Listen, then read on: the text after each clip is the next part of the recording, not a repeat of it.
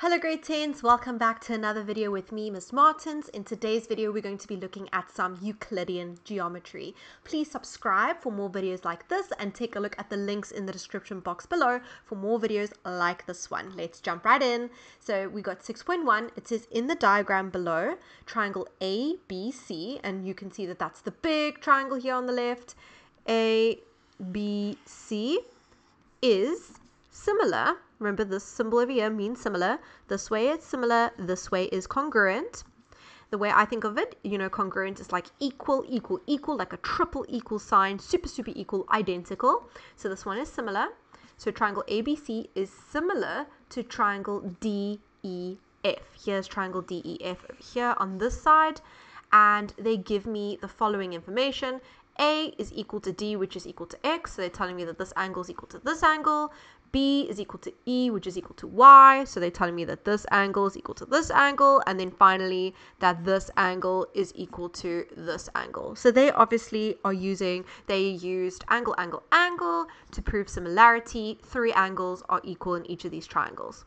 6.1.1. It is further given, so they're giving me more information, that AP is equal to DE. So they're telling me that this line over here is equal to this line and AQ, this line over here, is equal to DF, this line over here. Prove that triangle APQ is congruent to triangle DEF. So let's highlight the triangles in question at the moment. They want us to prove that APQ, so that's this top triangle over here, APQ, is congruent to DEF. Now, first of all, you need to know that in order to prove congruency, we have four different cases of congruency, and that is either side, side, side, side, angle, side, side, angle, angle, or RHS. In order to prove the two triangles are congruent, we need to look at or meet one of these cases. So one of these cases will help us prove that the triangles are equal. If you take a look at the information that we've been given, we have that AP, this side, is equal to DE, this side. So that's a side. So we have, a, we have S. We have that AQ, the side over here, is equal to DF. That's another side. And then finally, we have that angle A over here is equal to angle D over here. That's an angle. So we're going to use side, angle, side to prove that these two triangles are congruent. And please, it's very important to remember that when you're proving congruency and you want to use the case side, angle, side, the angle that you are using needs to be in between the two sides that you are saying are equal, which is true over here. AP and AQ we're saying are equal to DE and DF respectively.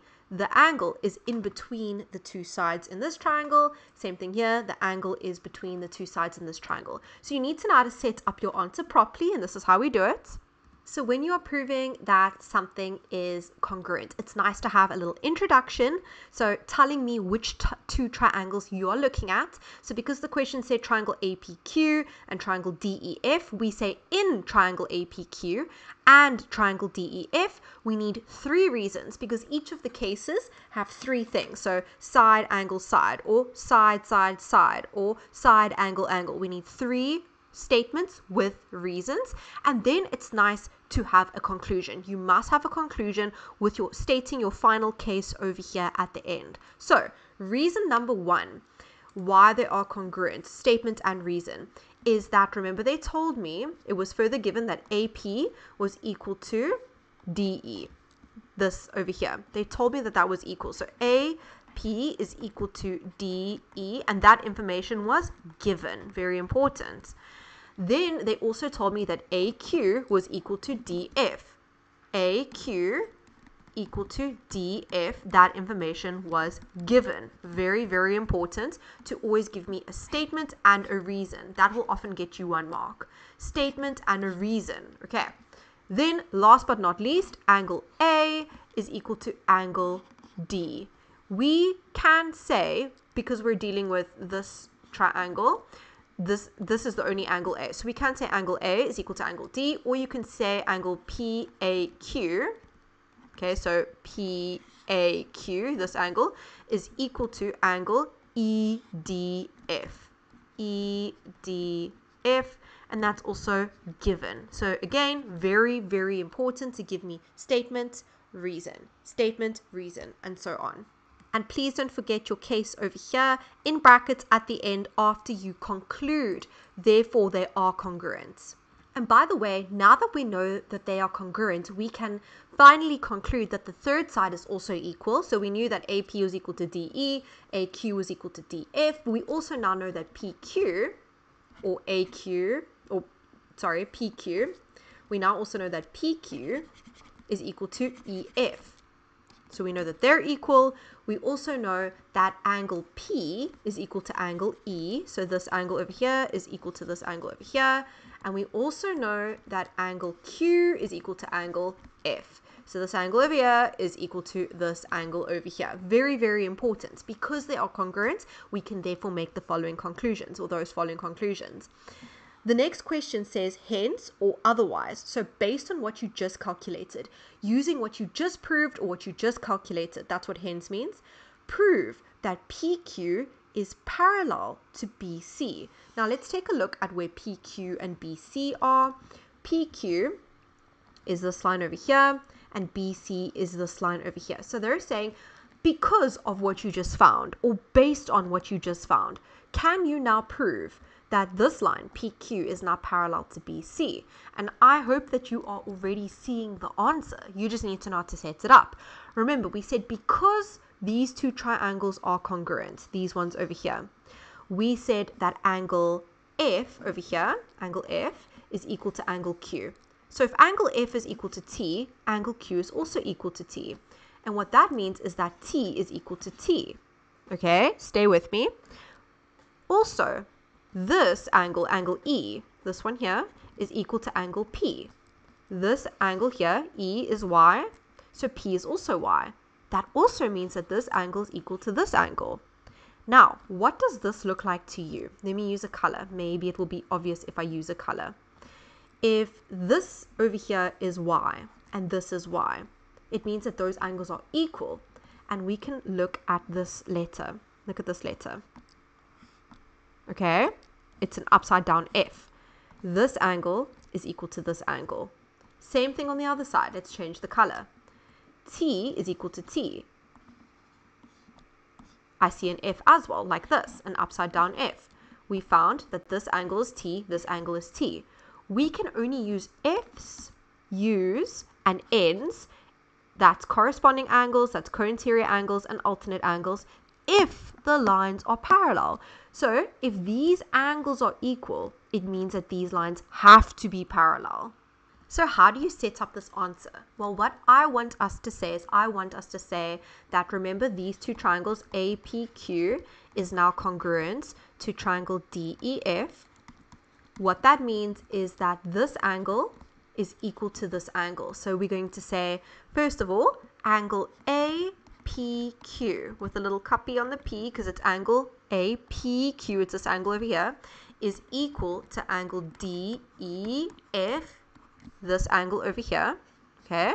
How do we know that they're equal? Because your reason, so this is your statement, your reason is that the two triangles are congruent. APQ is congruent to triangle DEF. So basically what you're saying here is you're saying, I know that this angle is equal to this angle. I know that this one is equal to this one. And the reason I know that is because we proved that the two angles are congruent. Okay, but we also know, and this is all equal to y, but we also know that angle B, this one over here, is equal to angle E. It was given you in the beginning.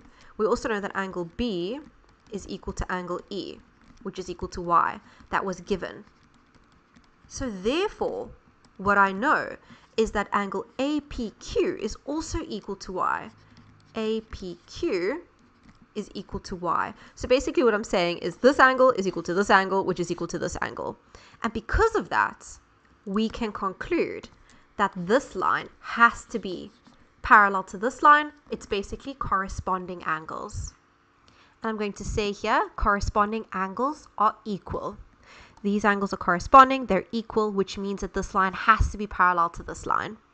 6.1.3 says it is further given, so more information, that AP is equal to 3.5 centimeters. So we can't see A over here. Let's move this down. AP, this line over here, is equal to 3.5 centimeters. PB, which is this line over here, is equal to 4 centimeters. And AC, over here, the full line from A all the way to C is equal to 8 centimeters. Determine the length of DF, which is this one over here. Okay, so how do we do this? What I do know, remember from the beginning, is that triangle ABC, so this big triangle over here, ABC, is similar to triangle DEF, this one over here. And as soon as you know that they are similar, as soon as they tell you that they are similar, you can write their sides that are in proportion. So I hope you know what I'm talking about here, but I'm going to write this a bit bigger. A, B, C is similar to D, E, F. What that means is that AB, so the first two sides of that triangle, over DE, the first two sides of that triangle, is equal to Okay, so we did first two over first two. AB over DE. Now we're going to do last two BC over last two EF, which is equal to the first and the last. So first and last AC over first and last DF. I know that the ratio of those sides are equal. The sides are in proportion. That is because I was I was told that the triangles are similar. So you can make this statement and your reason next to it actually has to be that triangle ABC is similar to triangle DEF. So as soon as we've been pro- as soon as we prove similarity or we are told that they are similar, we can make the statement that the sides are in proportion. Then remember, what are we trying to find? We're trying to find the length of DF. So we're trying to find this one. All the others I can attempt to fill in. So let's take a look. A, B over here. A, B is this full length over here. So 4 plus 3.5, I've got 7.5 over DE over here which I don't know. I'm going to leave it as DE. BC over here. B, where's B here? B to C over EF. And then AC, which is this big length over here, 8, over DF, which is what I'm looking for. Now, if you take a look at that for a second, you might be like, oh my goodness, I don't have enough information. I'm trying to find DF, but I don't know anything else. Do you remember in one of the previous questions, we actually proved that the following triangles, APQ and DEF, were congruent? APQ and DEF. I've highlighted them here in this purple pink color. APQ, we proved in the previous questions that it was congruent. And remember, congruent means identical, it means equal. A, P, Q, and D, E, F. What that means is that if AP is 3.5 centimeters, DE, this one over here, is also 3.5 centimeters. So I actually do know what D is. DE is 3.5 centimeters. I still don't know what BC is, but that doesn't matter I know that EF over here is the same as PQ over here, which I also don't know what it is. This doesn't matter. I don't need this fraction in the middle. All I need in order to find DF, do you see I'm looking for DF, that's my unknown. So all I need to do is I need to make this fraction. I'm looking for DF, so make the fraction with your unknown. The fraction containing your unknown, make it equal to another fraction where you know the top and the bottom. This one over here. I know the top is 7.5. I know the bottom is 3.5. Okay, just as clarificate for clarification's purposes, AB I got from the diagram. They told me in this question. This is 3.5 and this is 4. So therefore AP in total is 3.5 plus 4, 7.5. That's where that comes from. And I got DE from the fact that I know that APQ, this triangle, is congruent to this triangle. Okay, so if this is 3.5, this DE is 3.5.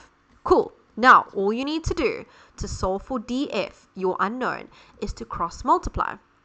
So what we do is we say 7.5 multiplied by DF, so 7.5 DF, and then 8 times 3.5, which is 28. Then to get DF by itself, this is multiply by 7.5, so we're going to divide by 7.5. So 28 divided by 7.5, and we get 3,73. I hope that this has been a helpful paper to go through with me. Remember to check out the links below for more past paper questions. Can't wait to see you in another video very soon. Bye everyone.